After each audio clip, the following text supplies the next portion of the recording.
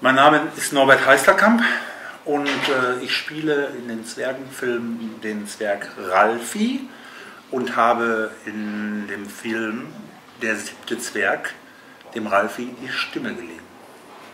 Super. Siebter Zwerg, beschreib doch mal den Film in einem Satz.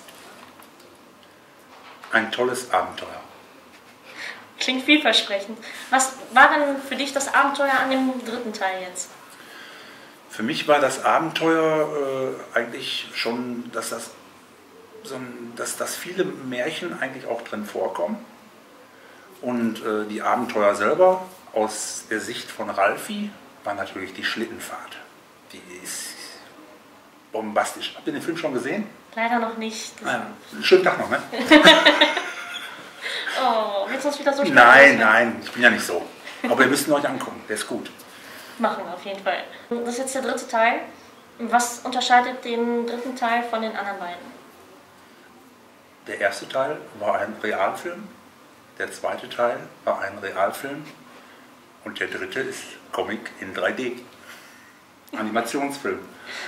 Ja, die Animationsfilme sind in Deutschland ziemlich in der Kritik. Wie stehst du dazu? Ich finde sie gut. Jetzt muss ich dabei sagen, ich bin auch ein, ein, ein Comic-Fan. Ich habe früher äh, Tom und Jerry, das war Pflicht. Das ist, äh, ich habe die Mickey Mouse Hefte gelesen, die Comic-Hefte und äh, Gespensterhefte gab es, das habe ich gelesen. Und äh, Tim und Struppi habe ich. Und wenn man überlegt, dass auch ein Steven Spielberg halt auch diese Tim und Struppi-Verfilmung gemacht hat und dass er auch ein großer Comic-Fan ist. Ich bin auch Comic-Fan und von daher finde ich die Filme einfach toll und äh, auch unterhaltsam, auch mit dieser tollen Musik dabei. Wenn natürlich jemand von seiner Grundeinstellung her Comics jetzt überhaupt nicht mag, äh, dann muss ich auch nicht mit dem über äh, Animationsfilme oder so diskutieren. Das ist einfach Ja, so. das ist richtig. Na, Ja. Entweder mag man sie oder man mag sie nicht. Und ich finde sie einfach, einfach toll. Und gerade für Kinder, die können abtauchen in eine Märchenwelt und können die Abenteuer miterleben.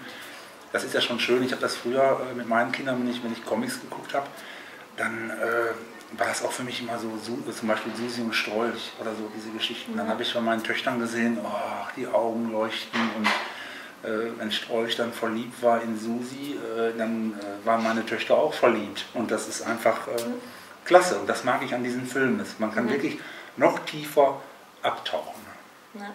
Die Comics, finde ich meiner Seite so, ähm, sind auch noch was, die man in zehn Jahren gucken kann.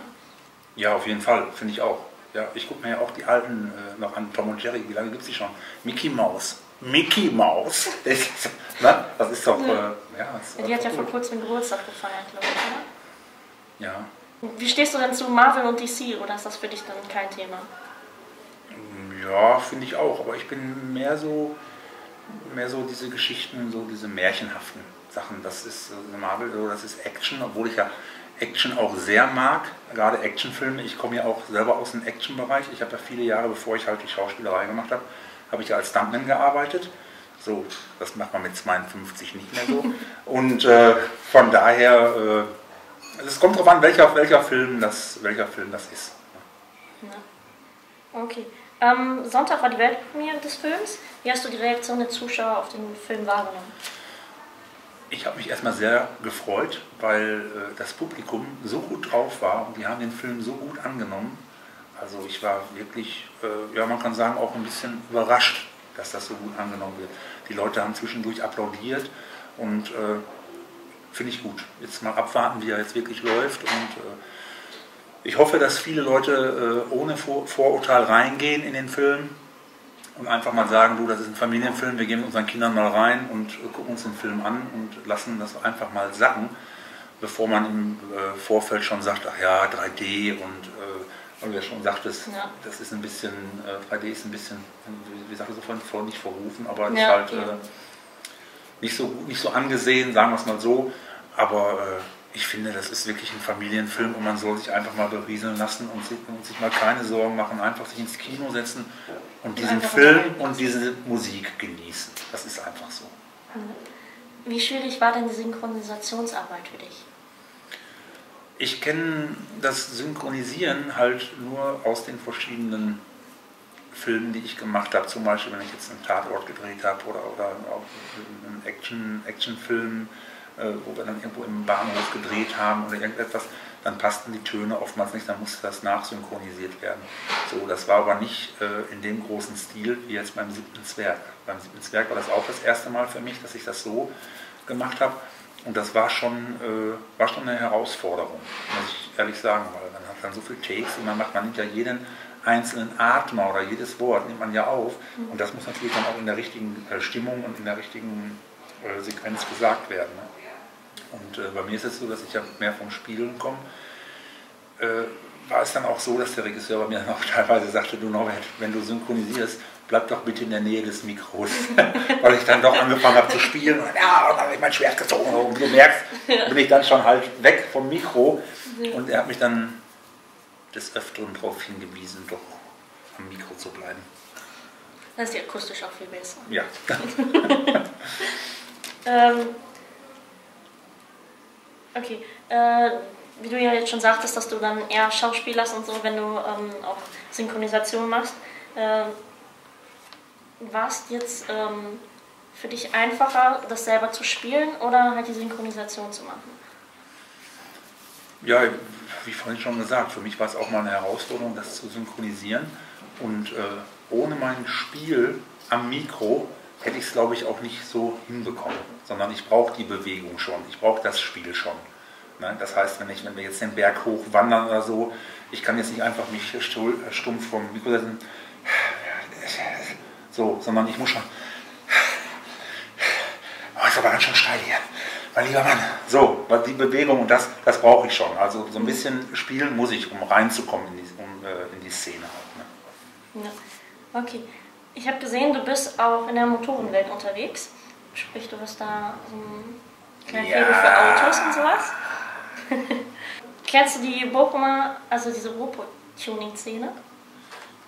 Tuning-Szene eigentlich weniger weil ich, äh, ich sag mal so mit 52 jetzt äh, so mit getunten Autos, das ist schon ein paar Jahre her, aber die habe ich auch gefahren und äh, vom Seat Cupra R mit gemachtem Motor mit über 300 PS und sowas, also ich habe die Sachen schon, äh, die habe ich hinter mir. jetzt, aber äh, schnelle Autos, äh, die liebe ich einfach. Das ist, ist, ist wirklich so. Ich habe selbst welche und auch gerade auch Motorräder mit, mit über 200 PS und das ist für mich auch so, auch so eine Auszeit. Wenn ich dann mal auf die Autobahn gehe und äh, sage so, jetzt kann ich da mal richtig am Hahn drehen und dann habe ich kein Handy dabei und dann geht das Visier runter und dann kann ich einfach mal fahren. Das ist für mich auch so entspannend. Dann noch eine Frage. Ähm, du bist in, bei der Aktion Fit for Kids bei? Ja. Ähm, das habe ich ins Leben gerufen. Ja. Fit for Kids habe ich ins Leben gerufen. Das ist jetzt, glaube ich, das achte Jahr schon, dass wir das, äh, dass wir das machen. Und äh, mir war es wichtig, dass äh, Kinder auch Sport treiben. Und das war damals mit dem Atlantis Bad Dorsten, habe ich das ins Leben gerufen. Die wollten mich haben für eine Autogrammstunde. Dann habe ich gesagt, lass uns doch mal für Kinder vernünftig was machen. Und mittlerweile ist das so, dass das auch von den Krankenkassen unterstützt wird. auch gerade in erster Linie, die mit mir da zusammenarbeiten, ist auch die Technikerkrankenkasse, die, die unterstützen das. Und das finde ich super gut. Und äh, wenn man das manchmal sieht, dass ein zwölfjähriger Junge, ich habe einen zwölfjährigen Jungen gehabt, ich mache die Kurse also mit mhm. Und ich bin aber nicht der, der sagt so, ja guck mal hier, ich mache jetzt zehn Liegestützen, sondern wenn die, wenn die kleinen Kinder oder die sechs, siebenjährigen jetzt sagen so, die machen jetzt fünf Liegestützen, dann mache ich drei. Dann gehen die nach Hause und sagen, Mama, der Norbert hat das nicht geschafft, aber ich. So, das ist, du weißt, was ich meine. Motivation, Motivation einfach. Ne? Und äh, wie gesagt, auch um darauf zurückzukommen mit den Krankenkassen, ich finde das toll, dass sie uns da unterstützen. Und ich habe das mal in einem Kurs gehabt, da war ein Junge, der war zwölf Jahre alt, zwölf Jahre alt, konnte kein Fahrrad fahren. Oh, der kann einen Laptop, ein Handy und äh, noch einen Toaster und kann noch eine Suppe kochen dabei, das ist alles machen, aber kann kein Fahrrad fahren.